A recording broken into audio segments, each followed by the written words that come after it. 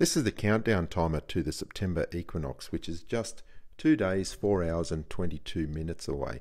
I received an email today from James at the Equinox Project just asking me to make a short video explaining that it is fine to start your observations now for your contest entries. You don't have to wait for the precise moment of the equinox because a few days either side of that time will still provide us with sunrise and sunset angles that are within one degree of due east and west respectively. As you can see here for Perth, Australia, from the 20th right through till about the 24th, we've got a sunrise of 89 degrees and a sunset of 271. On the 21st and the 22nd, it's 90 degrees and 270. And on the 23rd, we've got 91 degrees and 269. So it's within one degree, and that's certainly acceptable for the contest entry. Now, we understand people have to work, sometimes the weather's not suitable, so we're opening up that window for the contest. And uh, I certainly do understand that. Last March, I tried three days in a row to get the sunset in Sydney, Australia. I was foiled by the weather, unfortunately.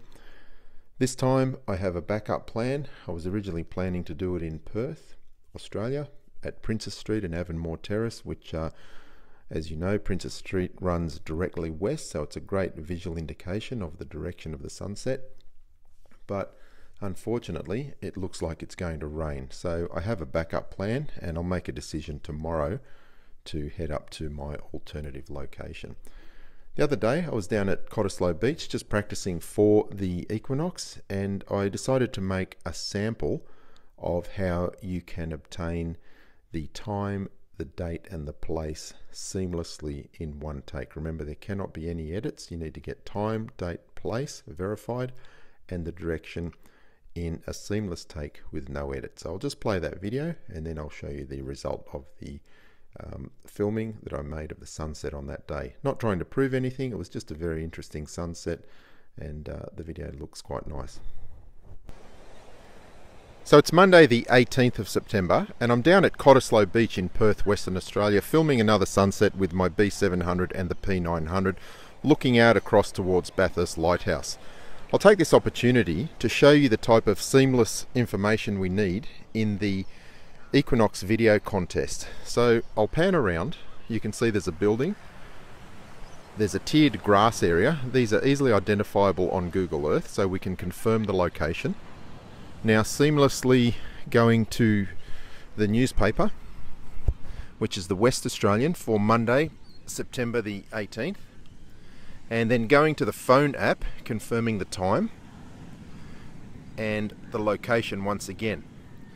So we've got time, date and place without any edits in a seamless take and now what we need to do is just confirm the direction of the sunset. Now we're still more than 20 minutes before the sunset, so I won't actually do that in this take, but what you will need to do in the Equinox contest video is just keep filming until the sun disappears so that we can accurately see the direction of the sunset. Now when it does, I'll film this again and then we can verify the precise location on Google Maps when I get back to the hotel. But this is the type of information you need to put in the Equinox contest video.